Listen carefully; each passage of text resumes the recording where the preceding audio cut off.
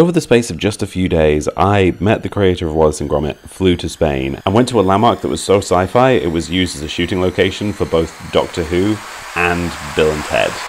Let's just say it was an interesting week. So, this Valencia vlog was originally going to be entirely in Spanish. I recorded some bits like that. Necesito empacar por un viaje. Didn't go so well. What I'll probably do is give you a little bit of a sense of how my Spanish is when I get to the end of the week. Because beginning of the week, oh, oh dear, oh no. ¿Cuál es la palabra por el día, la, el día antes? No, después, el día después de mañana. Yikes. I'm aware of the fact that I look kind of stupid. But it's not nearly as stupid as I was expecting. I am going to a party tonight that's a themed party. And the theme is poets. So I'm going as a kind of like beatnik adjacent poet with my turtleneck and my sunglasses and my jacket. And I don't hate the look as much as I want to. The the idea was I would make it look as stupid as possible. Honestly, this is just shit that I wear. Like, I, like, should I feel proud of myself? Should I feel self-loathing? I, I, who can tell? Who can tell? At this party, there is a very real chance that I might get to meet Nick Park, he of creator of Wallace and Gromit fame. I'll let you know how that goes.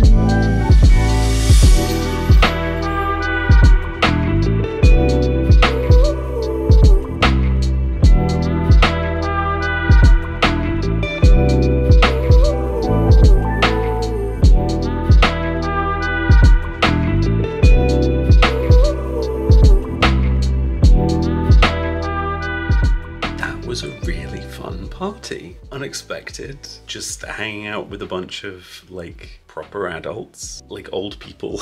that feels mean. Um, but it was really nice. I did get to have a brief conversation with Nick Park, which was nice. I got to say thank you for Wallace and Gromit. That was a good time. The uh, former mayor of Bristol was there, so that was interesting. Yeah, lots of just hanging out with cool people. There were also a bunch of people who were roughly my age there as well. So I got a I got a chat with them and talked to someone in Spanish mostly because she also spoke Spanish uh, better than I do. I didn't feel like I was too far out of my depth. That's my night before heading to Valencia tomorrow.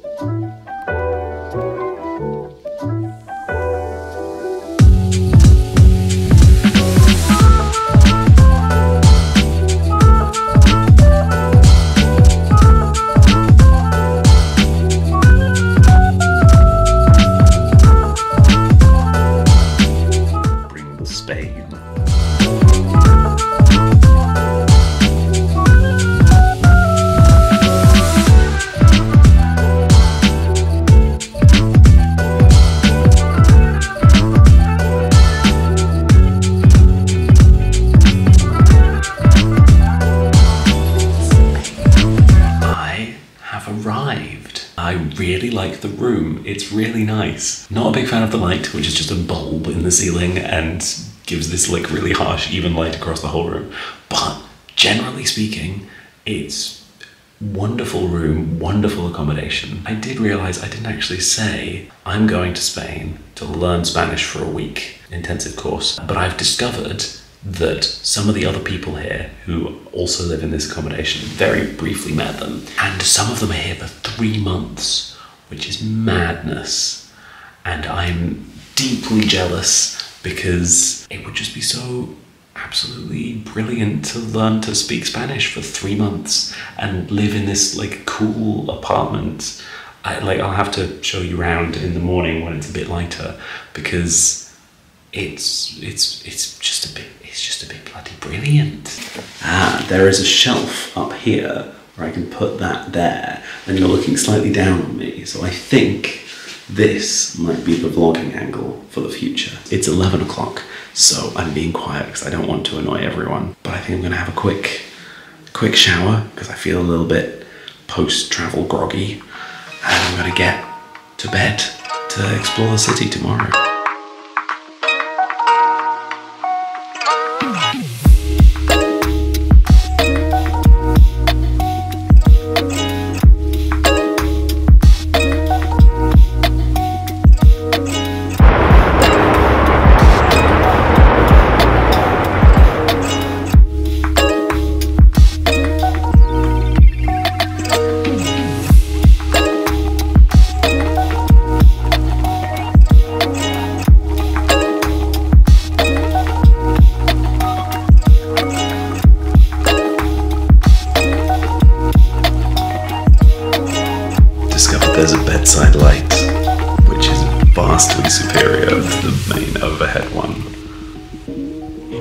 So much better.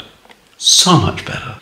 I had a really nice day. I went for a little bit of a wander around town. Firstly, with my mother, who is here in Spain as well. And then by myself, I got to see the old city. I got another Starbucks. There is just something nice about something familiar when you're in such a foreign place to you and everything's a little bit different and scary. It's it's nice to have a familiar place that you can go. Saw lots of cool things. My knee has started hurting a little bit. I've had some problems with it for the last few months, so here's hoping that doesn't become a problem across the week. Other than that, I'm just feeling good. I'm having a good time. Met one of the other people in the accommodation. Uh, her name was Julia. She's very nice. Now I need to work out what I'm going to do for dinner. So, see how that goes. So, I'm currently in what used to be the old river that ran through this city. But they dammed it off and built a park here. And it's good to be amongst green things. I had my first day of Spanish learning this morning and it was really good. Generally speaking, it's been a really good day, but um, mental health is a funny thing to talk about. A lot of people can relate to depression and anxiety and stuff like that. Some stuff is just like, just for the therapist, you know? I just wanted to be honest about the fact that not everything is perfect. Um, yeah, I've had a good day, generally. There was a blip in the middle um, that made things hard for me. And I don't want to be more specific than that, and I don't have to be. I want to make videos like this, but I don't want to share more than I want to share. My god, the trees here are beautiful. I'm just walking between palm trees. There's orange trees over there. It, it's so beautiful. I think I'm going to find somewhere I can sit and draw for a little bit.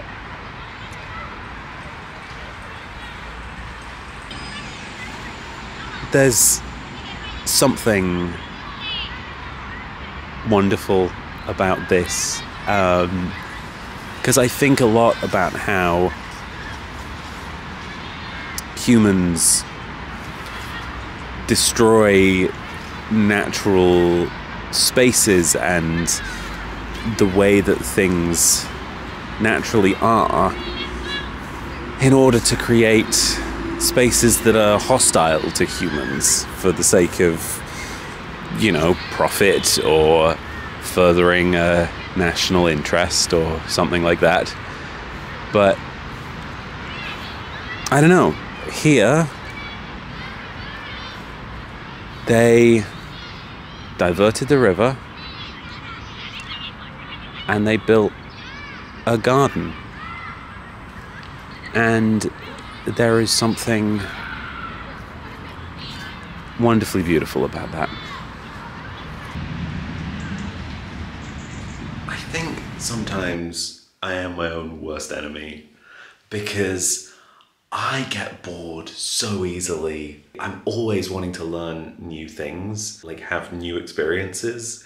And I've really been enjoying filming everything and making this video. And I'm like halfway through making this Valencia vlog. I'm less than halfway through making this Valencia vlog. And I'm already like, what's next? What, what's the next thing I'm gonna be doing? I think this is why I tried to make videos like Mike Shake once, where I would like learn skills in a short period of time.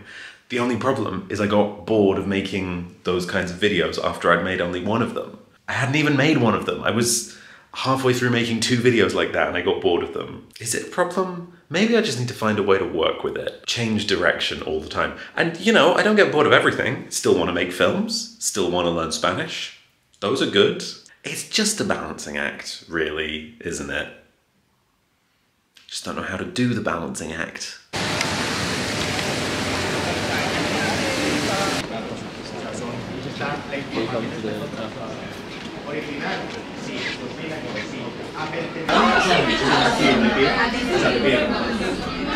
I am just going to bed, but it needed to be said that tonight is the night that I am deliberately letting my Duolingo streak run out. It's like 420 something days, and I'm gonna let it run out so that I can start again when I get back from my week in Spain. Feels weird, but I want to do it. I want to I want to break free of these like habits that I've made for myself. The streak is there to serve me. I am not there to serve the streak. It's weird. It's weird. But I'm doing it.